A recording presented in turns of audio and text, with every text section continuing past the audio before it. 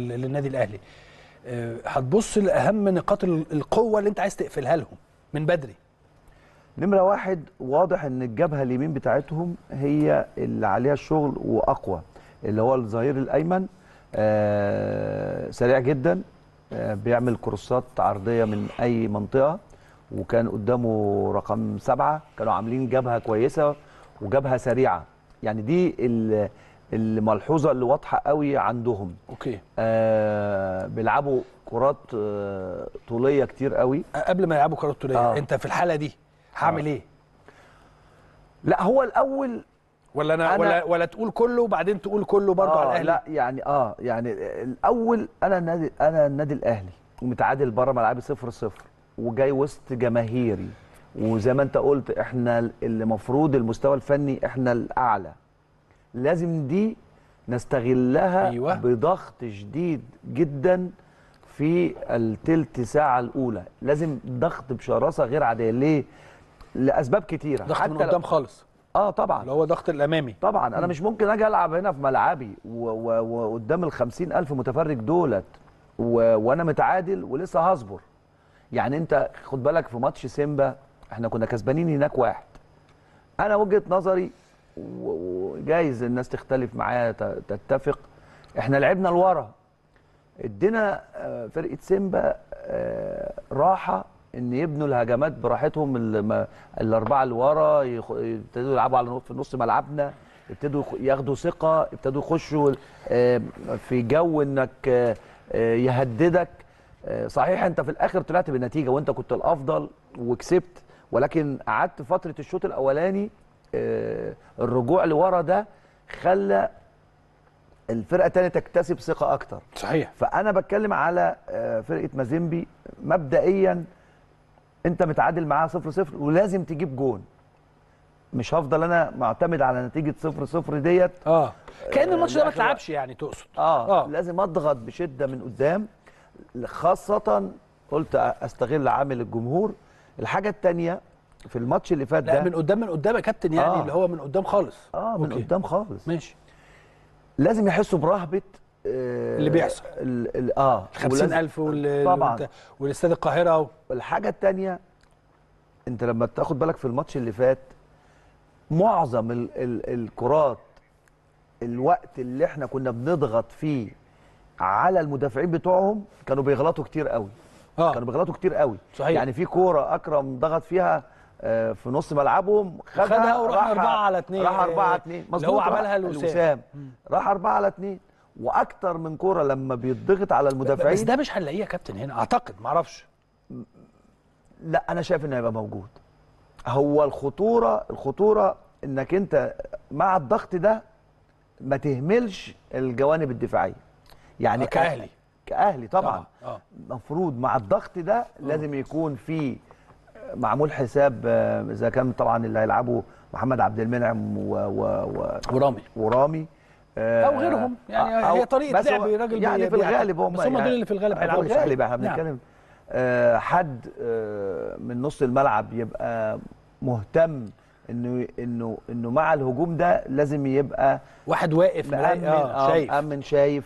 يعمل فاولات لأنه أنت هتلاقي الباكين برضو بتوعك آه صراع بالذات. لا الباكين آه، بتوعك أنت. طبعا علي معلول الماتش اللي فات كان دوره أكتر دفاعيا. لو اداه بشكل رائع. شال واحدة اللي هي بيمينه دي لو فاكرها؟ مظبوط آه اللي في آه. أول ثلث ساعة. آه، مظبوط. ممكن يبقى ده جول واحد جاي في ظهره جول إيه؟ أيوة، صحيح.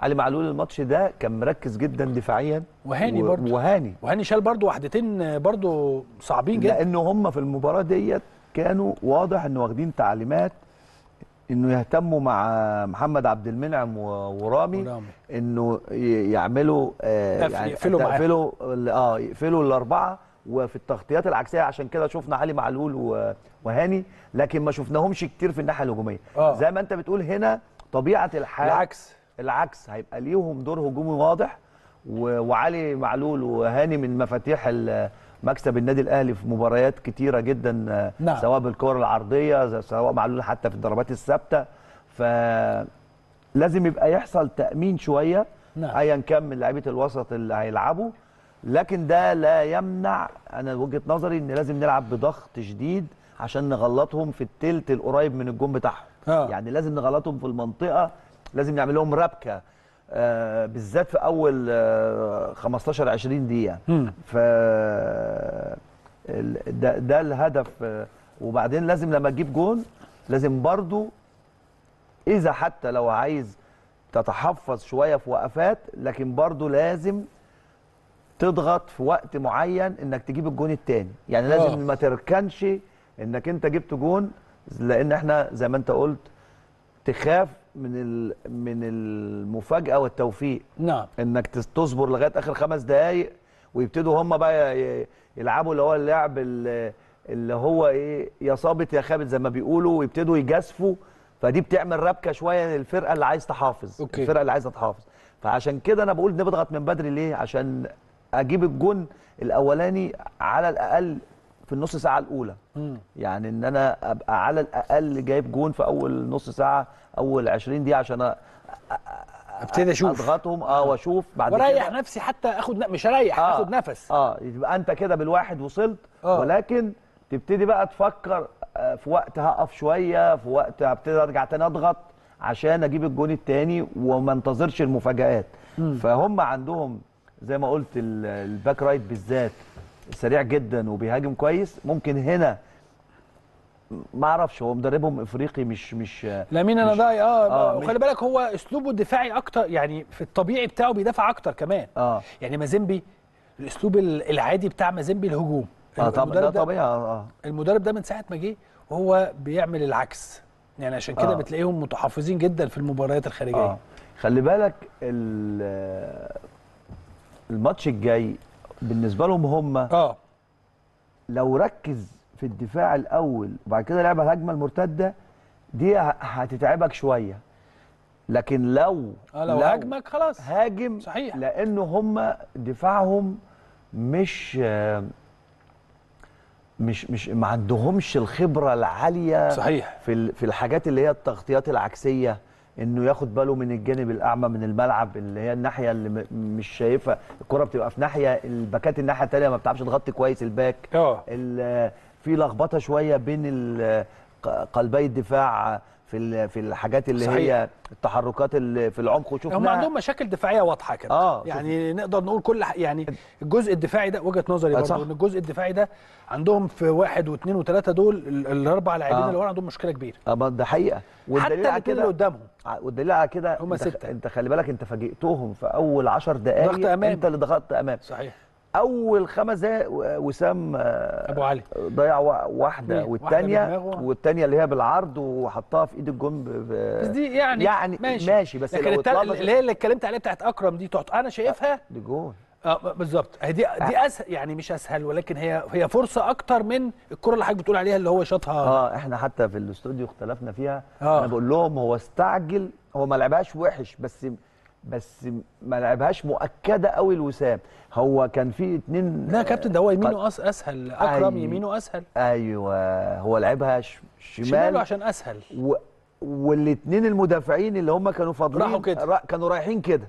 هو لكن هو لو. وقف كده ومشي شوية كان هيحطها الناحية الثانية جول دي دي وجهة نظري. بس هو صح. يعني في ناس اختلفوا معايا فيها لكن آه كانت فرصة سهلة جدا. فاللي أنا أقصده إنك أنت لما ضغطت عليهم في أول 10 دقائق أيوه. اتخلق لك فرصة واثنين لوسام اتخلق آه. لك فرصة لرضا سليم آه آه واحدة اللي إحنا بنقول عليها دلوقتي بتاعت أكرم هم ابتدوا يرجعوا للماتش نص ساعة تقريبا. أيوه 25 ابتد آه 30. ابتدوا وبعد كده شوبير آه تفوق الصراحة في واحدة آه، جون 100% شالها كويس قوي وواحدة آه. وراها بصراحه هايل و- آه آه عمل ماتش هايل وإحنا حتى كلنا ادينا له نجم المباراه ال- ال- ال- الشوط الأولاني النادي الأهلي كان عاجبني إنه الروح كانت عالية حقيقي. كميات الجري كانت كتيرة حتى اللعيبة اللي ما كانتش موفقة فنيا بس كان في كمية حركة وجري كبيرة. مم. آه عجبني في الماتش ده إن إن هاني وعلي معلول آه آه كانوا قافلين شوية في الخط الخلفي ما كانتش الدنيا مفتوحة قوي زي ماتشات قبل كده. آه عدد الأهداف اللي جه فينا شوية كان فيه آه مشكلة. آه فالروح كانت عالية. يمكن الشوط الثاني ابتدى شوية التعب يحل خاصة إحنا كنا بنلعب الساعة 3 الجو برضو بيبقى آه، في مشكلة. آه، مستر كولر ابتدى يعمل تغييرات آه، نزل بيرسي تاو ونزل محمود متولي في نص الملعب كمدافع مكان كوكا. أعتقد إن كوكا كان ممكن يكون كان عنده خبطة اللي خدها،. آه. آه، وبيرسي تاو مكان رضا سليم. ثم آه، طاهر. قفشة وطاهر وأخيرا آه، كهربا كهربا وطاهر في, في الآخر يعني. آه. فهو غير ونشط ولكن كان في تحس إن النادي الأهلي ابتدى يقلق شوية من النتيجة وعايز تفضل على كده خطف خطف. هم ابتدوا يلعبوا كرات طويلة وابتدوا يعملوا كرات عرضية من من زي ما قلت لك من ناحية الباك اليمين بالذات من ناحية الشمال شوية. وجات لهم برضو بعض الفرص ال- الخطيرة ولكن الفرص عامة كانت أكتر بالنسبة للأهلي وليهم الشوط الأولاني. الفرص قلت الشوط الثاني وإن كان في واحدة برضو جت لطاهر في يمكن في الدقيقة 85 اللي كهربا حاول يخش بيها و... وطاهر بعد كده آه، بس الباك شالها من على رجله في, صحيح. في, في آخر لحظة. فأنا أقصد هناك كان عندنا فرصة إن إحنا نجيب اجوان وأيضا كان ممكن يجي فينا اجوان ولكن هنا لازم نركز في أنصاف الفرص. صحيح. يعني دي مهمة جدا. و... ولازم اللعيبة على قد ما أنا بقول تضغط و... وتحاول تجيب جون لكن ما ما تستعجلش. مم. لأن فرق كبير قوي قوي قوي قوي بين ما أنا بلعب بسرعة بلعب بإتقان بلعب بدقة وفرق بين ما أنا أبقى زي ما بنقول بلغة الكرة كده متسربع. يعني لازم أكون سريع لكن مش متسربع. يعني ما مش مش مش مستعجل ان أنا اشوط الكرة مثلا من 40 يارده أي حاجة تروح طالعة مش مستعجل ان أنا آه، رايح انفراد آه، عايز اشوطها من اي حتة لازم اركز شوية مش مستعجل الكرة العرضية آه، العبها وخلاص في ال 18 لازم يكون فيها دقة لأنه الدقة مهمة جدا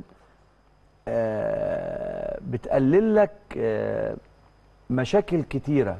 بت- بتقلل لك إيه؟ أنا ساعات لما أبقى مت- مستعجل ومتسربع. لا مش عارف أفكر ممكن كمان. لا وممكن أعمل تمريرة صعبة. ل- لحد تبقى صعبة. يعني بدل ما أحطها له مثلا في المساحة المظبوطة إن هو يحطها مرة واحدة ممكن ارجع أعملها وراه بيارده عقبال ما يلف تاني يكون ال defense رجع. فعشان كده بقول الدقة مهمة جدا والسرعة مهمة جدا بس ما يبقاش فيه تسرع. يعني مش معنى ما فات 10 دقايق وأنا ما جبتش جون أبقى عايز أخلص نفسي وخلاص. لازم يبقى فيه استحواذ كويس لازم يبقى فيه ضغط كويس لازم يبقى فيه دقة في ال في ال في إنهاء الهجمات. وبرده زي ما قلنا لازم الشق الدفاعي يبقى مؤمن. آه، لازم يبقى في ناس واخدة أدوار إن هي ورغم إن الهجوم شغال لازم يبقى منتبهة يبقى في تعطيل. حقيقي. كل الحاجات دي مهمة يعني. هو ماتش صعب ولكن الأهلي ما فيش شك عنده فرصة آه، يعني فوق ال 70 80% إنه يكسب لأسباب كتيره إحنا شرحناها. سواء الجمهور والدوافع اللي هتبقى عند اللعيبة سواء إمكانيات اللعيبة الشخصية. الفارق الفني. الفرق الفني واضح بين الفرقتين ولكن كرة القدم ما بتأمنش جانبها فعشان كده لازم يبقى يعني اللعب على قد ما سريع لازم يبقى بتعقل